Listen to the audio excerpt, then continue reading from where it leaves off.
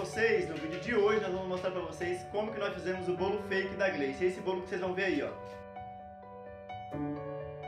Então nós vamos mostrar o passo a passo como é que a gente fez aí as camadas do bolo. Nós usamos TNT e EVA e nós vamos mostrar pra vocês. Mas antes da gente ir pro vídeo, eu quero pedir você que tá chegando aqui no canal, se inscreve se não for inscrito, ative o sininho das notificações porque toda semana tem vídeo novo. Deixe o seu like nesse vídeo pra nos ajudar. Bora pro vídeo!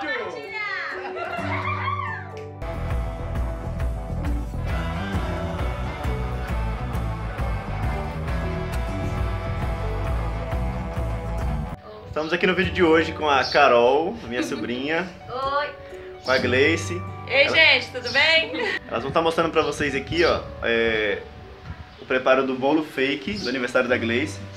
Nós vamos fazer duas técnicas, tá? Nesse vídeo nós vamos mostrar pra vocês aqui com o EVA de uma das bases e vamos mostrar também pra vocês como que nós fizemos o de TNT, né? Espera que eu vou mostrar pra vocês o que, vai- o que tá sendo usado. Galera, talvez o vento atrapalhe um pouco porque a gente resolveu gravar aqui do lado de fora pra ficar uma resolução melhor uma qualidade melhor do vídeo. Olha lá, meninas. A gente vai usar essa base aqui, ela tem 35 centímetros assim, por 10 de altura. A gente fez algumas tentativas com ela de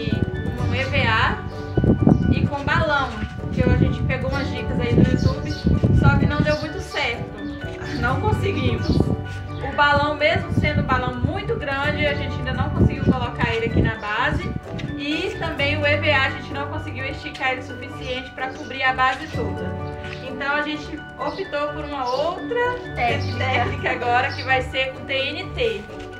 A minha base de baixo ela seria na cor Rosa. rosa, rosa pink. Mas aí os planos mudou. Isso aí. Aí a gente trocou por esse TNT todo listradinho aqui, ó. Aqui a gente já cortou a medida, o tamanho que vai ser do, do bolo para cobrir ele total. A lateral, como eu falei, ele tem 10 centímetros e aqui em cima ele tem 35. Só que não precisa você cobrir a base toda. Você simplesmente vai cobrir metade dela. Porque o outro bolo vai pegar aqui em cima, então não precisa de fechar aqui. E o total da circunferência aqui da, da base deu 1,8m. Mas essa base aqui é de 35 centímetros. Se você for usar uma base menor, você mede aí pela sua base. E a gente não vai usar nada de cola. A gente vai usar é, esses alfinetes sem cabeça. E a altura aqui, gente, pro bolo, a gente cortou a fita com 18 centímetros. Que é o suficiente para cobrir aqui. Olha lá. Aqui, na verdade, esses cortes aqui vocês vão fazer depois que vocês fazerem a circunferência do bolo aqui todinha. Tá bom? Aí a gente vai mostrar pra vocês como que é.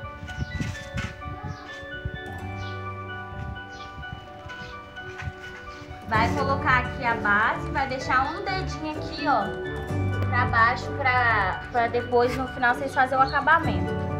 O alfinete. Vai colocar o alfinete um de cada lado.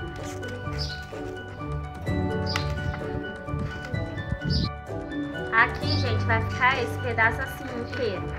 Só que fica um pouquinho feio, né? Aí você vai dar uma dobradinha pra dentro, bem pouquinho.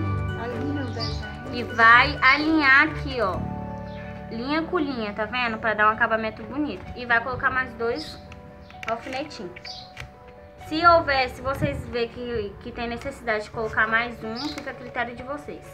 Aqui, gente, o nosso já tá cortado, mas o ideal é de vocês que vocês cortem na hora. Vocês vão cortando e vão pregando com o alfinete. Vamos sempre começar pelo lado que tá a emenda, tá? Vamos colocar esse pra baixo e esse por cima. Vamos alfinetar.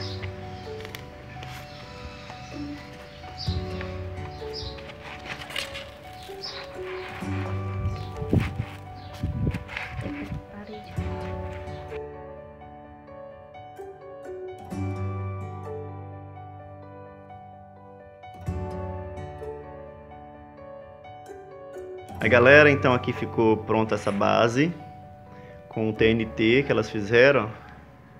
Essa é a parte de cima. Esse pedaço aqui vai ser tampado com esse outro que a gente já tinha feito de EVA. Tem umas pequenas rugas aqui, ó, que A gente fez com EVA, passando ferro quente, colando aqui com cola quente. Mas aí as meninas compraram esse material aqui. Mostra aqui, Carol. É, com essa meia pérola aqui, a gente vai estar tá fazendo ó, o acabamento dessa parte. Esse bolo aqui deu muito trabalho pra gente fazer, eu que tive que fazer ele, né? Que as meninas tentaram, tentaram, tentaram, rasgaram um bocado, aí eu vim cá e ajudei. Não ficou 100% assim como a gente esperava, mas, né? Agora eu vou mostrar pra vocês fazendo o terceiro andar aqui, ó. O isopor ainda não tá coberto, eu vou cobrir ele de EVA também com EVA amarelo, se Deus quiser. Vai dar tudo certo. Aí daqui a pouquinho vocês vão ver o bolo pronto aí, fique ligado aí no vídeo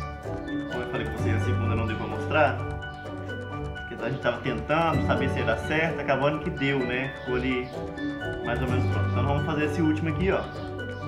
Vai precisar um, no nosso caso aqui nós vamos usar o amarelo, o amarelo. Vai ligar um ferro na tomada. Bota uma toalha na sua mesa, como no meu caso aqui, porque a minha mesa tem umas marquinhas, para não tomar o EVA não tomar a forma do, da mesa, tá? E aí você vai passar esquentando o seu EVA. Tenta não deixar o ferro parado num lugar só por muito tempo para poder não rasgar nem estragar a sua folha de EVA.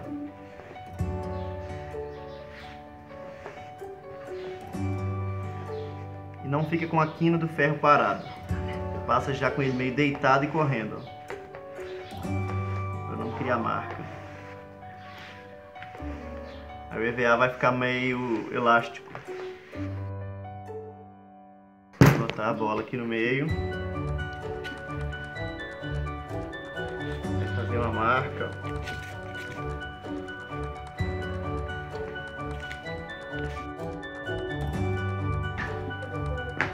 Gente, aí vocês vão ver ó, que vai sobrar bastante EVA. Depois que você fez a primeira dobra, pode tirar esse excesso aqui, senão ele vai te atrapalhar.